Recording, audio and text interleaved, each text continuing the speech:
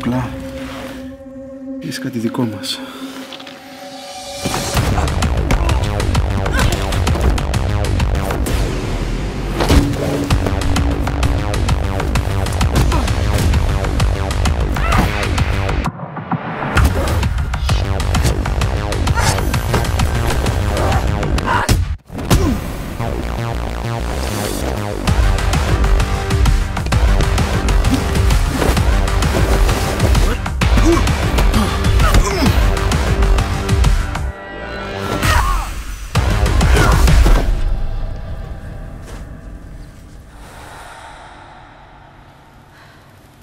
Μπράβο.